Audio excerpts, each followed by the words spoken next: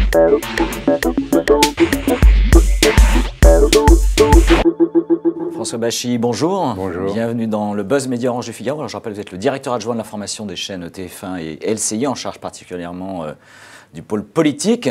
On vous a retrouvé hier soir pour la nouvelle émission en prime time euh, Parole de candidat, qui a été donc lancée il y a euh, une semaine. Je rappelle, alors, il y a une semaine, euh, cette émission présentée par Laurence Ferrari avait connu, on va dire, des déconvenus d'audience avec euh, 2,2 millions seulement de téléspectateurs séduits pour une part d'audience de 8,9%. Est-ce que le candidat Hollande a donné, redonné les couleurs hier soir euh, à TF1 ou pas Ah bah, il fait pratiquement 50% de mieux, hein, puisqu'on est à 3 millions, 3 millions 200 000, euh, d'après les chiffres qui viennent de m'être communiqués. Par médiamétrie Euh, voilà, euh, donc effectivement, je pense que l'émission d'ailleurs, euh, au-delà de l'audience, était, euh, était beaucoup plus agréable à regarder, bien plus rythmée. Il y avait aussi le fait qu'il n'y ait qu'un seul candidat au lieu de deux.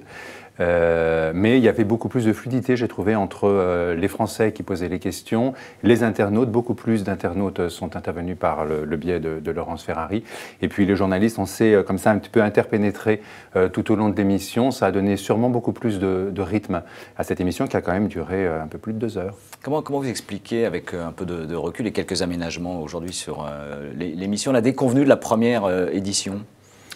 Alors, le déconvenu, c'est peut-être un, un grand. On n'a La- pas été la- très la content. déception, quand Oui, même, mais y a- on ne s'attendait pas à faire le score de The Voice, hein, pour tout vous dire. Euh, y a- Qui, Nonce lui, a fait un carton, on le rappelle. Voilà, qui a fait plus de 9 millions. Euh, Nonce Paolini nous a dit c'est pas une émission d'audience, c'était- c'est une émission qui est là pour participer euh, au débat public. Euh, TF1, moi j'y suis depuis euh, très longtemps, euh, en 95. Depuis 84, on le rappelle. Oui, ça fait 28 ans, merci de me le rappeler. Euh, en 95, euh, en 2002, il n'y avait pas d'émission de prime time de deux heures. Il y en a eu pour la première fois euh, en 2007, dans un environnement évidemment télé bien différent de celui d'aujourd'hui. Donc euh, on, on s'est un petit peu euh, autocontraint à faire une émission parce qu'on estime, avec Catherine Nel, la directrice de l'information, que c'est euh, dans notre mission aussi d'éclairer nos téléspectateurs dans un débat aussi important que celui de l'élection présidentielle. Et vous considérez au-delà de la mission civique, est-ce que c'est plus un débat d'image, un enjeu d'image qu'un enjeu finalement d'audience, comme vous le Nous, on croit beaucoup au projet qui, a, qui été fait, qui a été présenté des Français, euh, devant lesquels doivent s'expliquer euh, les, politiques. Ces Français, ils sont issus des reportages qu'on a déjà vus euh, à l'antenne de TF1, et c'est beaucoup plus difficile pour les politiques. C'est un exercice qui est beaucoup moins rodé qu'avec les journalistes. Et là, ben, de temps en temps, ils sont un petit peu pris par surprise sur des thématiques auxquelles ils ne s'attendent pas forcément à répondre dans les questions plus formatées, peut-être, on va dire, des journalistes.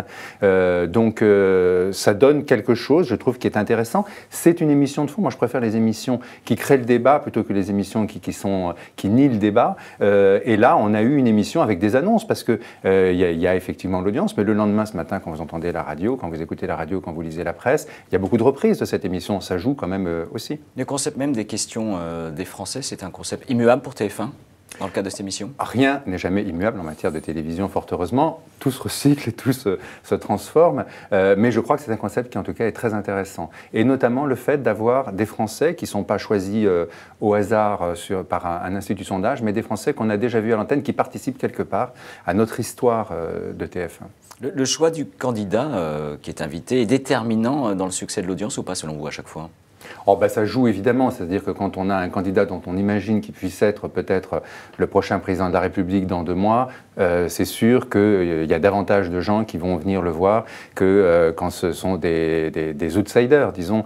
Euh, mais de toute façon, notre devoir, c'est de faire venir tout le monde. Et d'ailleurs, on a aussi fait des émissions qui s'appellent Parole directe, où il y a même les petits candidats Qui viennent s'exprimer. et, et qui viennent s'exprimer. Et je crois qu'on est la seule chaîne euh, importante à le faire. hein. Donc, euh, euh, on, on a fait tous les candidats euh, qui sont candidats à l'élection. Enfin, évidemment, sauf euh, euh, pas les 60 du C- répertoriés par le CSA, je vous rassure, mais en tout cas dans, dans- dans les 14 euh, qui existaient au départ, qui ne sont plus les 14, parce que Christine Boutin a annoncé sur notre plateau, par exemple, qu'elle se désistait pour Nicolas Sarkozy. Euh, voilà, ils sont tous venus et je crois que ça, euh, c'est bien, avec des formats différents, avec des attentes différentes, mais ils sont tous venus s'expliquer sur l'antenne. Au regard des performances d'audience, donc 3 millions d'eux hier soir, parole de candidat doit changer à nouveau de rythme ou pas, ou les aménagements sont terminés? Non, je crois que les aménagements sont terminés. De toute façon, il y avait un changement de rythme qui était nécessaire par le fait que, comme je vous le disais, la première émission, il y avait deux, deux invités. invités, et là, il n'y en avait qu'un.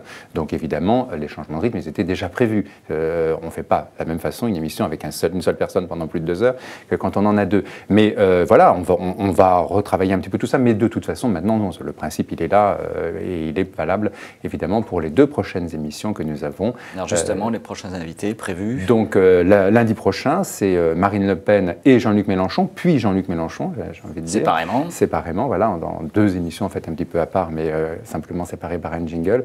Et puis la semaine d'après, la semaine du 12, on aura Nicolas Sarkozy. Le président, donc candidat. Voilà. François Bachy, merci. Merci d'être venu dans le Buzz Média Orange Le Figaro. Et nous nous retrouvons dès demain avec un nouvel invité. Merci encore et très bonne merci journée. Merci à vous.